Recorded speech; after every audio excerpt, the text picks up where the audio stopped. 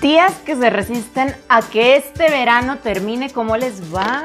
Bienvenidas, nueva semana, nuevo lunes, casi casi nuevo mes.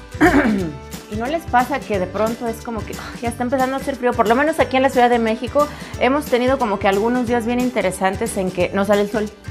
El sol no ha querido salir. no es que el sol salga para todos, es que no ha querido salir. Y ha estado lloviendo ya y hace frío y de repente así como que sale el sol un poquitito y es como, ¡ay! Entonces el día que sí sale el sol, como ahorita, que hay poquito sol, yo sé que tú no lo puedes ver, pero mira qué iluminada está mi estancia. Yo así como que tengo que sacar mi camisa hawaiana porque digo, no, no, no, o sea, e, e, esto no se acaba hasta que se acaba, querida. Y el día de hoy vamos a comenzar nuestra semana con una cerveza a la que le temo. Una cerveza a la que le temo y para eso, bueno, te traje aquí una, una ratita. una ratita para que la tomemos. Ya viste qué padrísima etiqueta tengo acá. Mira, querida tía, te la voy a acercar. Y esta es la cerveza, eh, bueno, esta cervecería se llama Error de Diciembre y tú te podrías preguntar por qué. Mira, ya no te lo preguntes, ya te estoy mostrando por qué, ¿verdad? Te voy a poner aquí como más clarito para que veas a este señorcito tan, tan pinche graciosito. Mira, sí, tenemos aquí a Carlos Salinas de Huertari con su bandita presidencial y sus orejotas de, de no sé, de elfo con unas bolsas de dinero. Está genial. Y esta se llama Carlitos Cerveza. Te digo, la cervecería es este error de diciembre. Y te voy platicando mientras la voy destapando. Ellos son eh, una cervecería mexicana, chilanga, este, padrísimo, que mm, fue creada por varios amigos. Entre ellos está eh, Isaac Aroche, que si tú medio le sabes a las cervezas, seguro lo identificas, pero si no le sabes, yo te cuento. Isaac Aroche él eh, ganó el World Cup Beer, World Beer Cup, en fin, ganó la medalla de oro y es orgullosamente mexicano. Entonces él se encargó de hacer ocho distintas cervezas, o sea, ocho las recetas. Todas llevan em, la temática de la política mexicana de expresidentes mexicanos y todos con un currículum fantástico.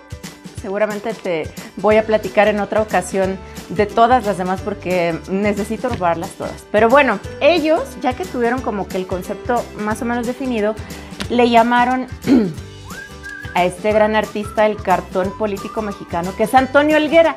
Y Antonio Elguera, por eso dijiste, ah, con razón, como que se me hacía conocido el estilo de esta, pues de esta carita de Carlos Salinas de Gortari. Sí, porque él, pues publica en, en La Jornada, publica en Proceso. Lo has visto en muchos lugares con sus eh, pues con sus caricaturas y él hizo todas las caricaturas de todas las cervezas. En este caso, pues esta que tengo es Carlitos y es una cerveza de chocomenta.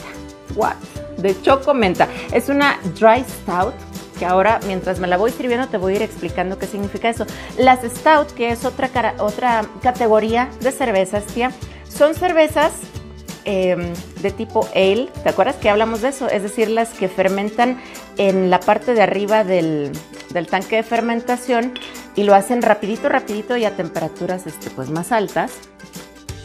Y el asunto que sea dry, eh, bueno, la palabra stout es este, esta categoría de cervezas muy fuertes, como puedes ver del color es así como súper negro. ¿Por qué? Porque se utilizan maltas bien, bien tostadas para que agarre esto, eh, pues este colorón. Son espesas y eh, su origen es este, británico, pero casi siempre las puedes eh, diferenciar entre unas secas y otras dulces. Esta no, esta es seca, seca y la vamos a probar. Pero te quiero decir algo.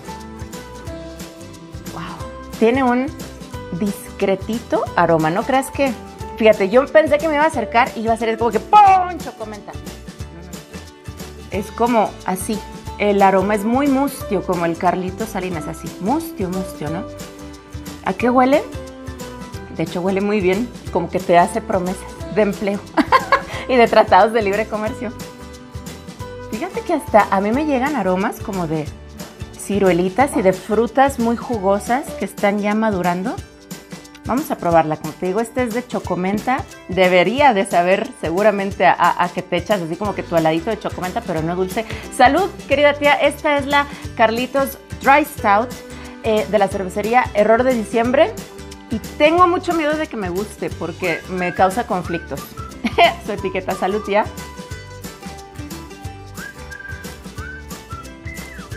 Mm.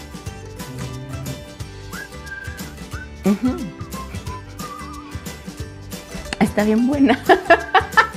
sí, sí sabe chocomenta. Sabe a un heladito de chocomenta. Sabe exactamente a lo que te sabe la chocomenta cuando la compras en versión helado, cuando la compras en versión galletita, o sea, en los chocolatitos. Ya ves que hay unos chocolatitos que vienen en una envoltura plateada, que tienen un nombre como, creo que es con una M, que son gringos. A eso sabe. A eso sabe y amarguita. Tienes que echártela. Mira, esta es de 5,5 grados de alcohol, o sea, no es como que ah, te vas a poner bien mal, no. Tiene el alcohol bajito, pero eso a mí me sugiere que puede ser un buen maridaje para postre.